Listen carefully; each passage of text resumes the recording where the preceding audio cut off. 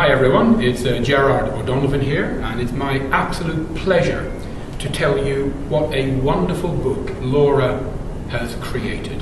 When I received the initial draft from Laura, I was not only impressed, but I was incredibly excited because here we have a toolkit that will help so many people student coaches, existing qualified coaches, and managers within organizations who want to work with their teams and grow and help those people to develop and expand.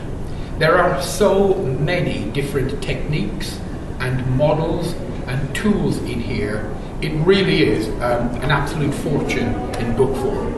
Now, I know this because I currently am the worldwide president of the IIC, International Institute of Coaching, and we work with coaches in 82 countries around the world.